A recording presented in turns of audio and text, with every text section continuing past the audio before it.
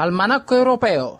Eccoci con un nuovo fresco appuntamento di Almanacco europeo in questa versione light di chiusura di secondo appuntamento di Sottoporta Show estate, però il nostro Federico Mancini, oltre a essere fresco e tosto, è anche bello carico appunto per questa nuova, eh, per questa, ecco diciamo appunto, secondo appuntamento con la rubrica di Almanacco europeo. Prego Federico.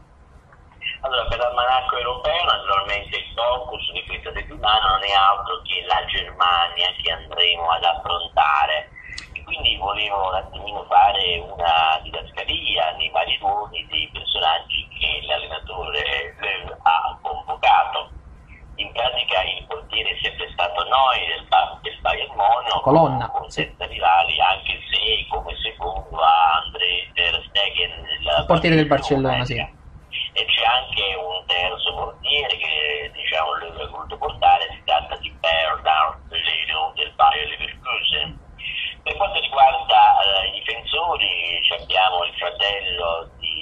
Boateng che è stato in Minna, si tratta di Jeremy Boateng che oggi gioca del Bayern Monaco sì. ed è rilevare che il Levalo diciamo, si affida al, alle fasce difensive Hector della Colonia sì. nonché abbiamo anche Hümmel del Borussia Dortmund ex Borussia Dortmund è proprio fresco eh, ex ex Borussia Dortmund fresco del Bayern Monaco ecco.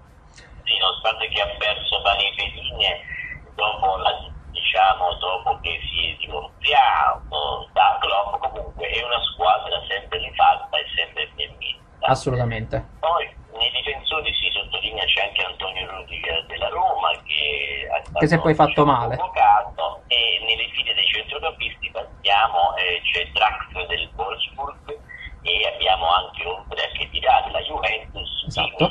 Del Bayern Monaco e il famoso Tony Cross del Real Madrid esatto. oltre a Ozil dell'Arsenal da rilevare che c'è anche Schweinsteiger, nome impronunciabile dello United. Pronunciabile è come sempre una birra praticamente. E poi praticamente nei attaccanti c'è questo fatto che stranamente la Germania schiera due attaccanti di provenienza tra virgolette turca. Ecco. Nel senso che oltre a Mario Gomez che diciamo gioca nel Besiktas ma è ancora di proprietà della Fiorentina? Chiara Tarazari che comunque è una prima scelta di panchina chiaramente l'altra punta centrale è Thomas Müller in questo caso il Bayern Monaco sì. quindi questa è diciamo la, la piantina di tutti i giocatori che andranno a giocare con l'Italia. Per quanto riguarda la formazione che si accinge a giocare con l'Italia è data. In porta Neuer per quanto riguarda la linea difensiva da sinistra verso destra abbiamo Hector, Hummel, eh, Jeremy Boateng e Kimmich nella mediana abbiamo arretrati Tony Cross e chi dirà un po' più avanti come mezzala Ozil le punte laterali sono Müller e eh, Draxel con uh, Mario Gomez punta principale e questo è lo scacchiere che eh, diciamo è dato come formazione contro l'Italia. Bella squadra, eh, Federico? Prego? È davvero una bella squadra, eh, però.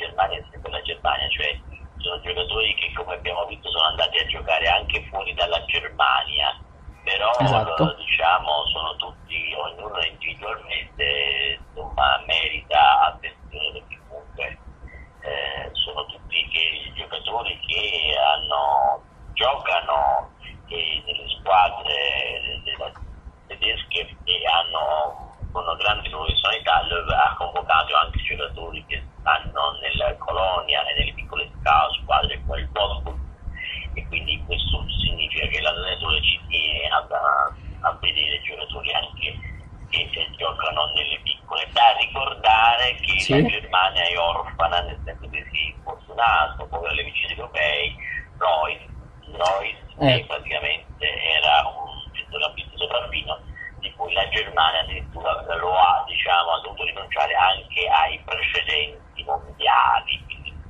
diciamo a questi piccoli infortuni che si verificano Un bel giocatore, ma un po' fragilino, effettivamente. È un po' fragilino e quindi comunque devo dire, dobbiamo dare atto che la Germania ovunque si presenti è sempre una squadra data... Di tutto rispetto, certo.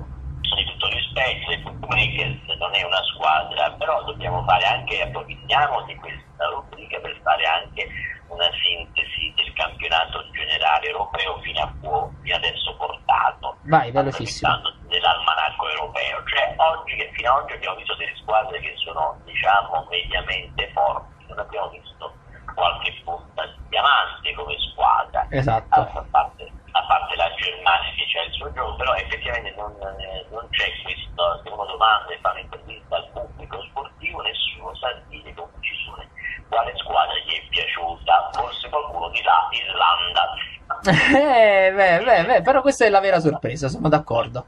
La vera sorpresa è l'Islanda. L'Islanda viene da un gioco... Saranno molto diciamo, contenti i tifosi inglesi. Molto roccioso, perché sembrano quasi giocatori diretti, sono praticamente rognosi e tutti finiscono con Son. Son. e a parte di venire, diciamo oggetto forse di, di ironie facili, certo, assolutamente. Sono dei giocatori, devo dire verità, ben organizzati in Atlanta e, e, comunque chiaramente ha già avuto un successo suo personale come squadra per andare oltre quello che si era prestabilito e da rilevare una piccola nota rosa, ce la vogliamo dire davvero? Vai. Irlanda. Vai.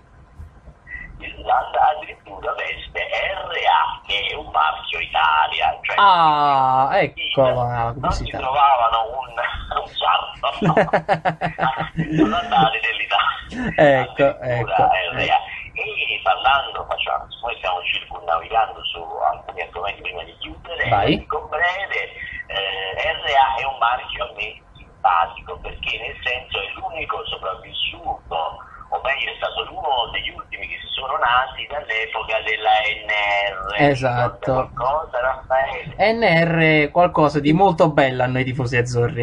Ecco, NR era il marchio dei tempi di Maradona. Esattamente. La maglietta che ricordiamo era una maglietta quasi fatta a mano perché il cotone soprattutto i numeri che noi quando tu eri giovane, perché adesso sei anziano, più o meno, insomma. con quei numeri si ricorda Raffaele addirittura si, si cucivano a mano. Ecco. A mano l'uno era cucito a mano, lo zero era fatto a mano. Cioè quando andavi da qualche negozio di abbigliamento ti dicevano come la doveva essere fatta, te la facciamo uguale, uguale, questo è un grande tempo. Purtroppo sono marchi scomparsi, forse è sopravvissuto solo la N2N sono alcuni, alcuni, sono alcuni. Effettivamente. Adesso abbiamo solo la Givova, un marchiaccio.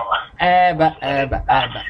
È andato a finire al Chievo per ora, pure quello non aveva sarti. Ecco, fra l'altro, in tutto ciò. Federico. Va bene, non la faccio breve, chiudiamo con l'almanacco europeo, sperando che vi